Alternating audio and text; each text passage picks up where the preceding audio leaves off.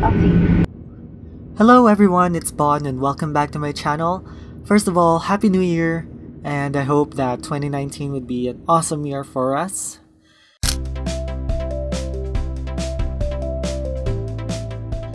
In this video, I want to show some film photos I took last year when I visited Montreal, Quebec, here in Canada.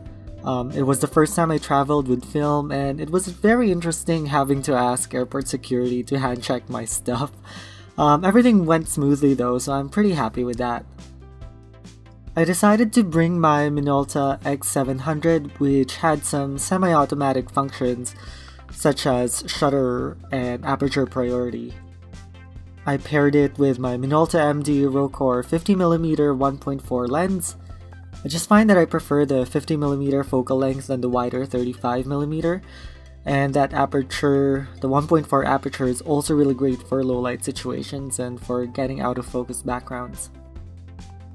Here you see me loading my camera with Kodak Gold 200, but I also brought with me some rolls of Fuji Superia 400 and Lomography Color Negative 400. So here are some photos I took and hopefully you'll like them.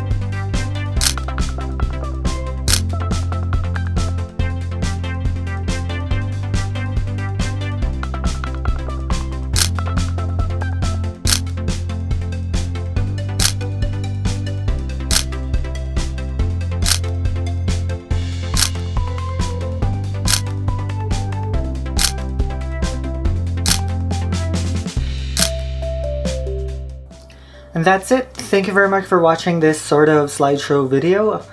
Um, before I end though, I would just like to comment about my experience with using the uh, Minolta X700. Basically, I like shooting with this camera. I was mostly shooting in aperture priority, which I like because it kind of freed me from having to think about the different exposure technicalities.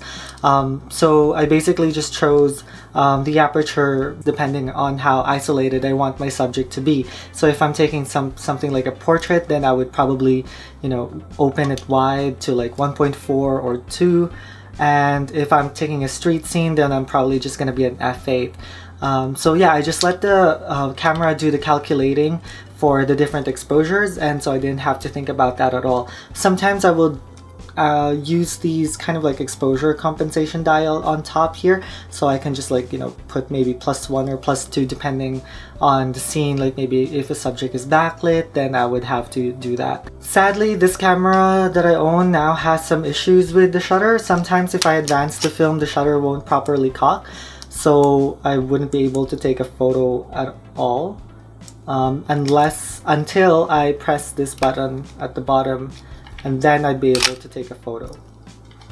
Um, which is probably not that much big of a deal, but sometimes when you're in the street and there's a scene, you kind of want a more reliable camera where you can just like, you know, cock the shutter, take that photo, and go. Because sometimes, you know, like if you have to do all of these things before you can take a photo, the, the scene might have gone and yeah, you just missed the shot. As for the Lomography Color Negative 400 film, it is kind of my current go-to film just for everyday use um, because it's currently cheaper to get a hold of it than Fuji's Superia 400 or Kodak Ultramax 400, at least here in Calgary where I live. Um, it's fairly easy to get online, you know, and you get it you get it in packs of three, and it's way cheaper, I think.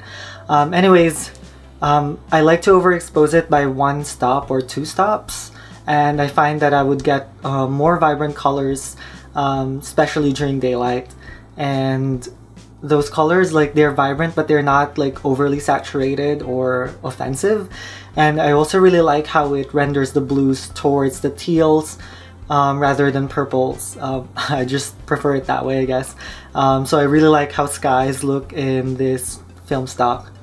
Um, so yeah, um, thank you very much again for watching this video. I hope you liked it and if you haven't subscribed, please do, and please give it a thumbs up if you liked it. So yeah, I will see you guys next time. Cheers!